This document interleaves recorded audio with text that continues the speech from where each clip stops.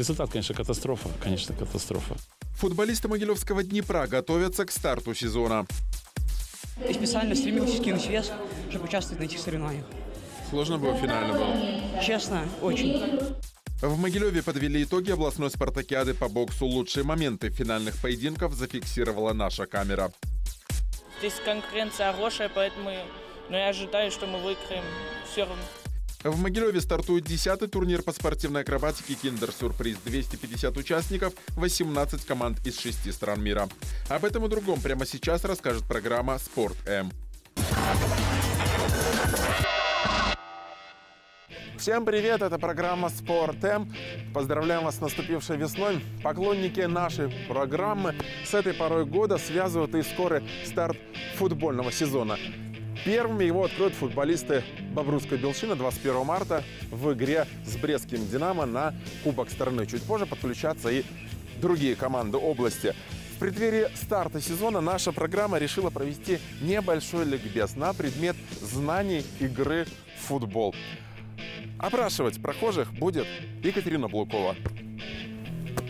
Я хоть и девочка, я все равно люблю футбол и даже представляю, что такое офсайд. А интересно, знают ли прохожие? Узнаем.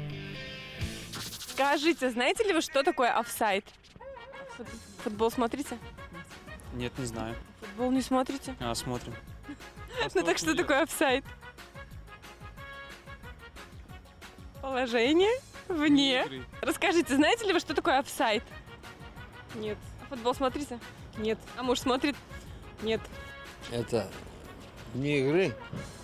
Когда нападающий находится к воротам соперника ближе, чем последний защитник. Такой простой вопрос. Объясните мне, глупой женщине, что такое офсайд? Это я сам не знаю. Я сам не знаю. Э, не знаю. Мяч за линией. Я уже сама запуталась в вариантах. Поехали, лучше узнаем у эксперта.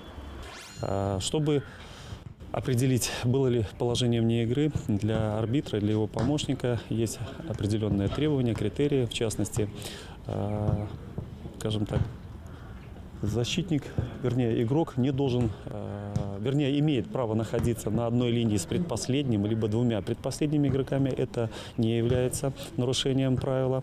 А если же он находится ближе, чем предпоследний игрок, то, значит, является нарушением правила тут вне игры. А вот как это бывает в самой игре. Смотри, офсайд.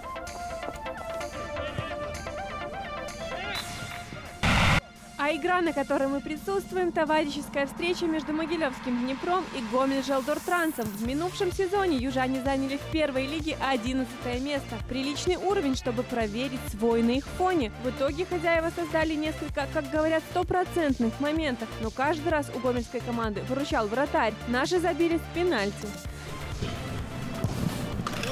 Но к тому времени счет на табло был неприличный. Для еще несколько месяцев назад команды высшей лиги Днепровцы горели 0-4 и реализованный 11-метровый стал лишь голом престижа. Результат, конечно, катастрофа. Конечно, катастрофа. Результат.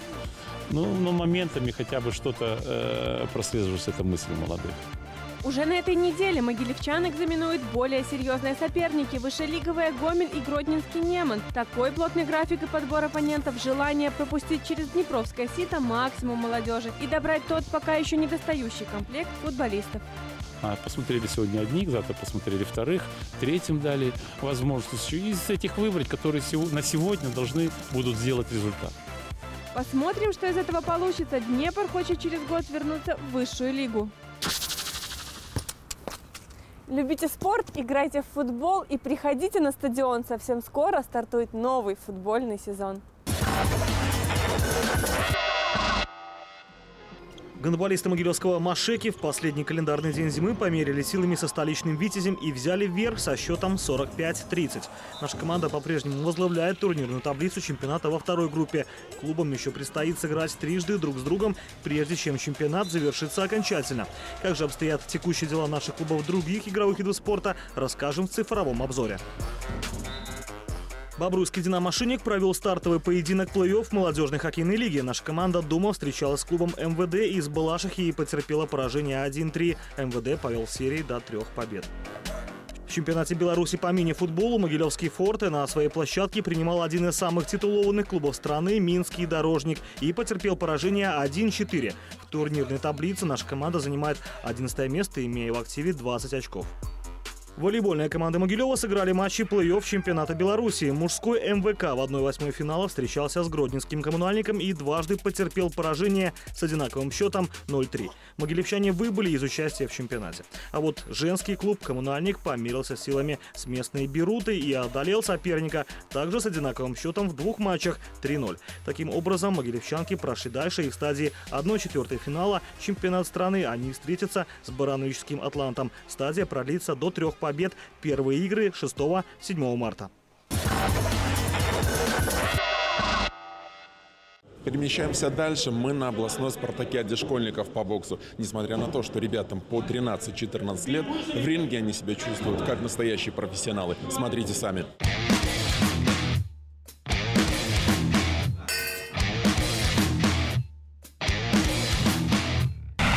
В ринге Антон Титов из Бобруйска. Он в красных трусах и Максим Телюпа из Кричева. Ребятам по 12 лет, возраст одинаковый, а вот уровень мастерства разный. Это потом и скажется в ринге. За счет чего победу держал? Ну, опыта.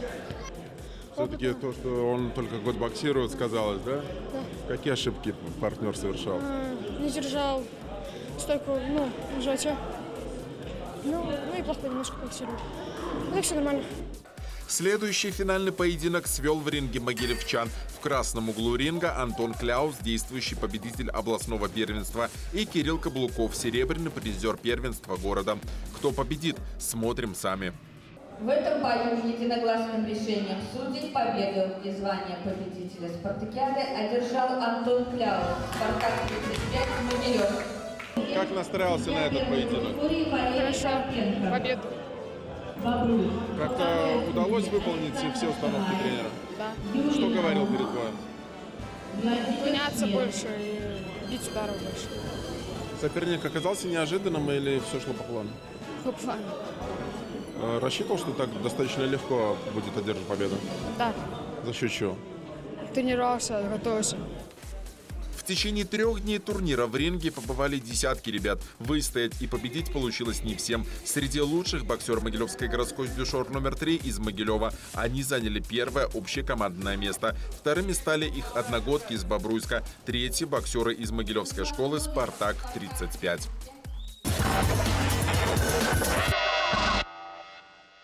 Совсем скоро в Могилеве стартует открытый республиканский традиционный турнир по спортивной акробатике «Киндер-сюрприз». Событие хорошо известно могилевчанам и большим, и маленьким. Каждый год, а этот будет 10 в Дворце гимнастики, собираются юные акробаты показать свое мастерство. На этот раз участниками праздника станут представители из шести стран – Молдовы, Украины, Литвы, Беларуси, Туркменистана и Германии. Из этой страны вместе с участниками соревнований приехала и председатель коллегии судей, член Европейского технического комитета Керстен Хоффман, которая поделилась впечатлениями об организации турнира.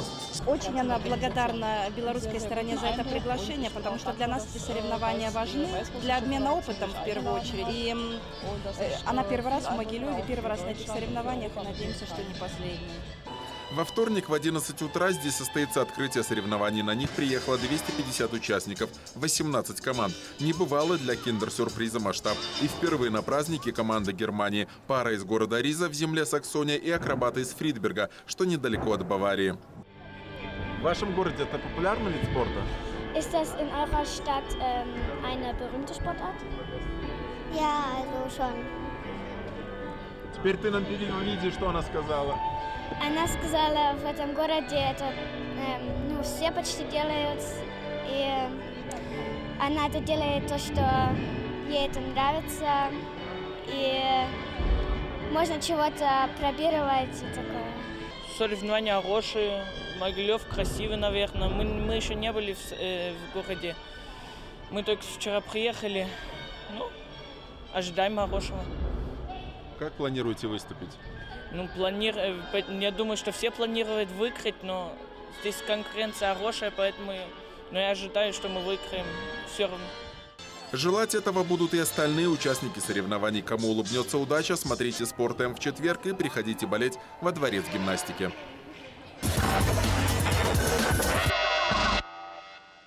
На сегодня все новости. Это была программа «Спорт М». Если что-то пропустили, смотрите нас в интернете. Ну а в эфире мы увидимся, как обычно, в четверг на «Беларусь-2». Счастливо!